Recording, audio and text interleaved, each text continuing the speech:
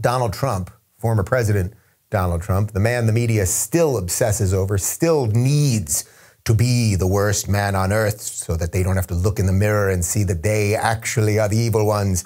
Uh, he was on Sean Hannity's program on Fox News last night, and it was a wide ranging interview, but I thought this was the most interesting part. Donald Trump talking about the media. They are corrupt. They are, and I say it, and I don't want to say it much, but I say it, and I hope in the future I won't have to. They are the enemy of the people. And we could have a country that would be able to heal and get together, except the media foments it. They're so corrupt. And, you know, I called it, I came up with the term fake news a long time ago. I don't know if I'll get credit for that, but that's okay. The fake mm. news, but it's really the corrupt news. It's corrupt what they do. And they're so important, it could be, well, important. They used to have a high approval rating. Now they have the lowest. I think they have a lower rating than Mitch McConnell, which is pretty good. I tell you what, they have a rating that now is people people have gotten wise to it. They've just gotten wise to it. God, it will never ever cease to amaze me that that golden man with whatever is going on with his hair is more authentic than virtually every other politician in America even today. And I put that notwithstanding a couple of the guys that you know I like like Ted Cruz and Rand Paul, and uh, obviously there's a couple others, but it's just incredible. The best part of that, of course, is that he still wants credit for the phrase fake news, which is sort of hilarious. Like, what, what do you want? Do you want an award? Should they hand him some sort of golden statue? You, Donald Trump, created the term fake news. Da, da. Anyway, getting to the, to the nuts and bolts of what he said, he said they're corrupt. Now, that is just obviously true. The mainstream media is evil and corrupt. At one point yesterday, I verified it myself Nowhere at CNN.com was there anything about the car ramming event in Wisconsin from uh, a couple days ago. Okay, somehow that was not on CNN's front page.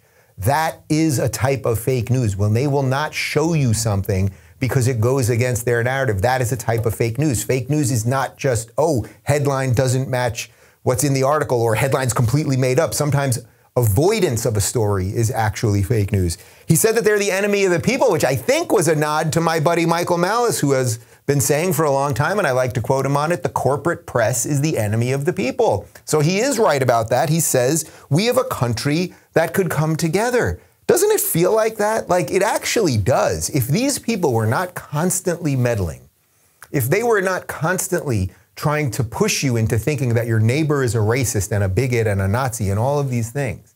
And maybe doing a little bit of a better job honestly reporting what's happening and not just the things that fit their narrative and then not hiding the things that don't fit their narrative. Don't you think the country could kind of come together? But there's not a lot of dollars in that, I suppose. You know, like, I'm not saying I do a perfect job here, and I obviously make fun of the lefties left and right. But I think if you watch this show, you know that one of the things I'm trying to do is get us to a place um, where where we're a little more decent, where we're a little more thoughtful, where we can heal some of this stuff. Do you think that that's what they want? Uh, it's so dangerous, and this was the danger. You can watch a video that I did the day after the 2016 election. We were I had just moved into my other house. We didn't even have my old studio that you remember in the garage. We didn't even have that studio yet. There was construction going on. I'm sitting there off my computer in the backyard. It's very loud.